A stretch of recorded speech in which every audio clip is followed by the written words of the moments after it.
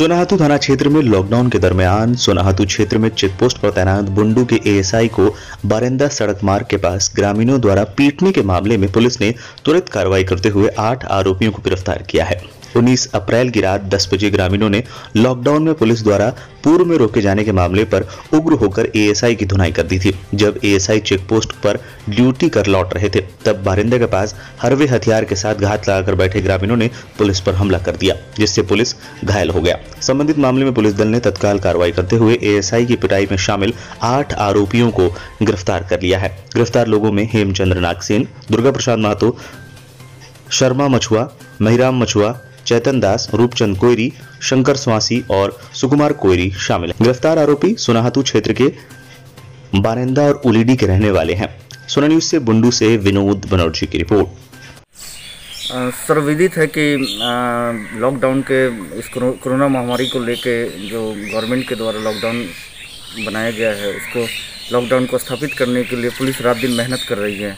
हम लोग उसी क्रम में हमारे हमारी पुलिस बारिंदा बारिंदा चौक के पास चेक पोस्ट लगा के दिन रात 24 घंटे वहाँ पे चेक पोस्ट लगा के वहाँ पे लोगों को लॉकडाउन के लिए को करवाया जा रहा था। इसी क्रम में दिनांक सत्रह तारीख को दिन के समय में तीन तीन बाइक पे चार पाँच व्यक्ति वहाँ से बाइक से क्रॉस कर रहे थे और उनको, वो एक बाइक पे दो व्यक्ति, तीन व्यक्ति बैठे हुए थे। इसको लेके वहाँ के जो पदाधिकारी है, दल गोविंद महतो, उन्होंने उनको रोका कि आप लोग लॉकडाउन का उल्लंघन कर रहे हैं।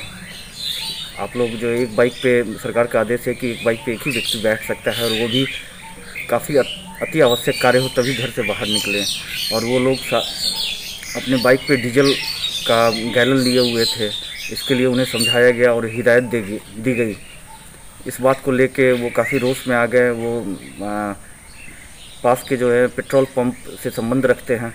उन्होंने आ, उस घटना को ले उस घटना को उन्होंने बहुत पुलिस के विपरीत लिया और उन्होंने आ, दो दिन के बाद 19 तारीख को रात्रि 10 बजे के करीब जब हमारी आ, पुलिस वहाँ पे चौक चेक पोस्ट पे अपनी ड्यूटी कर रही थी उसी समय में तीन बाइक पे आठ व्यक्ति सवार होके आए और वे हरे हरवे हथियार से लैस थे और उसमें से एक व्यक्ति ने एक लोहे के रड से हमारे पदाधिकारी दलगोविंद महतो के सर पे, उसके कंधे पे और उसके हाथ पे ज़ोर से प्रहार किया, जिसमें उसके सर काफ़ी फट गया है उसके कई सर में टाके लगे हैं और उसके हाथ की हड्डी टूट गई है, उसके कंधे पे काफ़ी चोट आया है और वो काफ़ी खून भी बहा और इसी क्रम में पुलिस के द्वारा धरपकड़ में एक व्यक्ति के वहाँ पे मोबाइल भी गिर गया जिसे जब्त किया गया है।